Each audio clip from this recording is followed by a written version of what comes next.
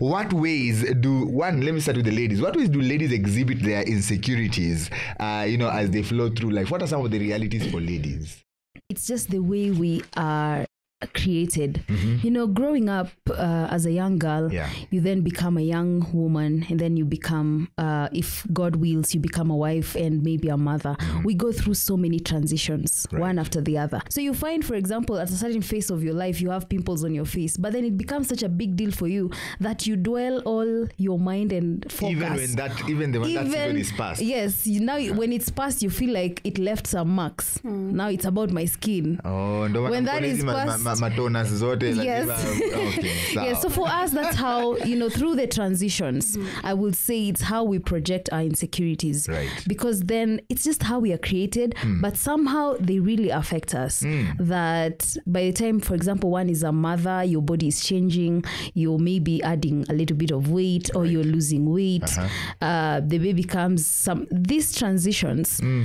i just don't know how they also in turn become very big insecurities for us yeah That's but i'll say in the transitions in the transition. Yes. Ayla, what do you think? I mean, what's uh Well, of course, I think culture also has a big role to play because society has expectations.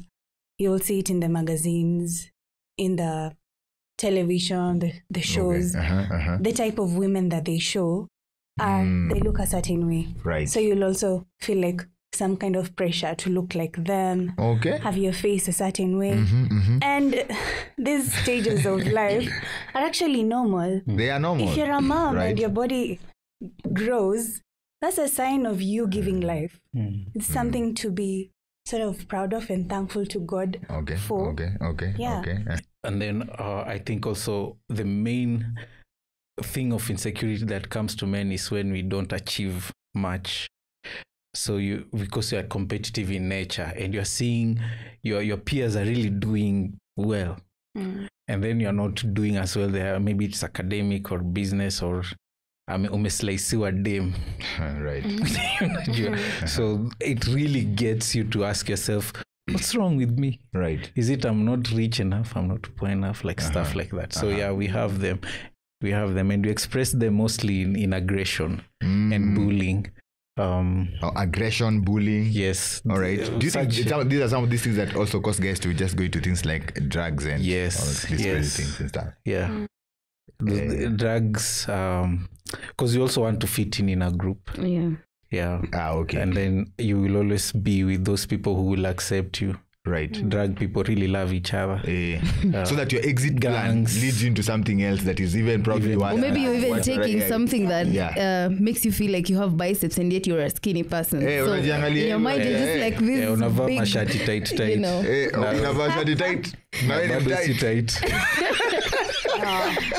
but i think for us rather Yeah, yeah. for us the prayer is god is there a way you can just take away all these Yeah, yeah, yeah. insecurities Oh, for, for the lady. yeah for us Oh, is it's it, just can I live without this? Yes. How will I just live without adding weight? How will I live without having any acne or um, pimples on my face? Okay. How will I live without uh, worrying if I am shaped in a certain way?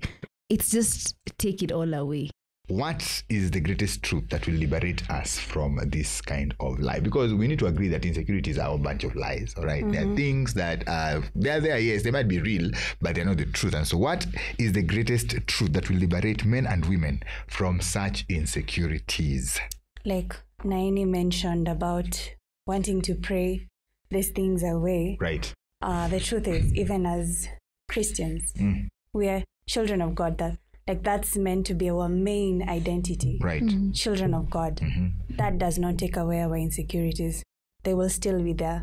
But then Mm, us okay. remembering that God calls us by name and we belong to Him has to be our main source of focus hmm more than our insecurities. Right. That we should not just focus on them and forget who we really are in the eyes of God. Right. Because that will mean that we are being conformed to the standards of the world, which is not what we are supposed to do as Christians.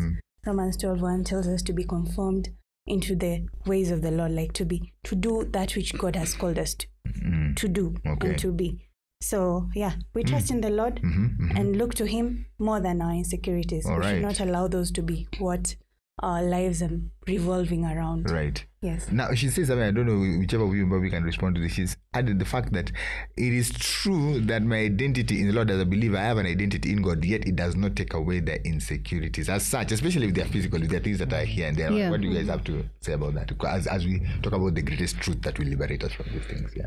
I think I can just add on what she has Yes. said. Um, I love the fact that she has coupled it with, you know, uh, having Christ. Right. And I'll say the same way I look I look at it as or I look at us as houses that are under renovation. See when a house is being renovated, it means it has some defaults. Mm-hmm. That default will not be taken, the house will not be demolished. The house is just being upgraded in value. That's who we become when how the Holy Spirit dwells inside of us. Right. That the, the the insecurity we have is not basically being taken away, but then he makes us appreciate and value even hmm. when we have our insecurities. Case in point, I'll look at Moses, uh-huh. who was a stammerer. He literally just told God he can't speak. Yeah, I can't. You know, Yeah. this is not my thing completely. Hmm. And he was disqualifying himself from what would be his destiny and his calling. But you see, when God uh, walks with Moses, we see Moses more, uh, we see Moses above his insecurity. At no point do you hear anyone saying, uh, Moses the stammerer who mm. parted the Red Sea. Mm. It's not mentioned in his name anywhere. So we get to see him above his insecurity because then he had God. So I feel mm. like like uh, what I was just saying earlier on as much as sometimes we see we feel like it's easier to pray that the Lord will take away our insecurities. Right. But the truth is he doesn't take away our insecurities. He uses us to glorify himself even with our insecurities. Right. insecurities. He doesn't take them away. Yes. Umebust bubble ya mtu hapo hivyo unajua.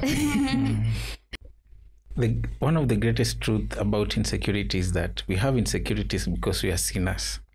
Mm. Um, God created us perfect, and our sinful nature will always want us to look at what God has done as imperfect. Right. So we look at ourselves without sin. Trust me, Right. everybody will be perfectly beautiful, and we will enjoy each person's limitation and compli- compliment them.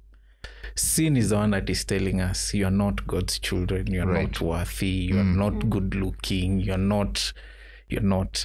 But when you're in Christ, God is reminding you that I'm the one who gave you stammering, a stammering tongue. I'm the one who gave you that height. I love it. And all this, Romans 8 28, Mm. I will use all this for the good of those who God loves. So God is what He wants to use you the way you are. Mm. Even with our weaknesses, Mhm, um, mhm. I'm reminded of Second Corinthians twelve nine, which tells us, um, yeah, for there's a part where it says, therefore, like Paul, despite his weaknesses, that therefore I will boast all the more gladly about my weaknesses, so that Christ's power Mm. may rest in me. manifest. Right. Like he is not Right. even anywhere close to hiding them because he knows Mm. it is in these weaknesses Mm. that Christ's power is going to rest in him. Right. So yeah, these are things that we are we're actually free to boast about Mm. Because we are in Christ. Right. What are your insecurities and what do they drive you to do? So, we have insecurities, real deal. But there's a greater truth. You are someone in Jesus Christ. If you're there and you're not born again, you're listening, listening to these things, it is hope, hopeless for you to try and sort those things out, minus Jesus Christ. The only place you have a true identity and a true, true, true meaning of life is in Christ. And as it has been said, in Christ, we realize that we are his workmanship, fearfully and wonderfully made. Um, I tell you what, this conversation of insecurities is something that you cannot run away from. And we know that over and above all things, oftentimes, and Naini has mentioned it properly, you are probably your worst bullet. The bullet you shoot yourself with is probably worse than what an enemy can try to shoot at you because this one is unnecessary. Once again, thank you so much, ladies and gentlemen. This is Kuza Podcast, and we are out.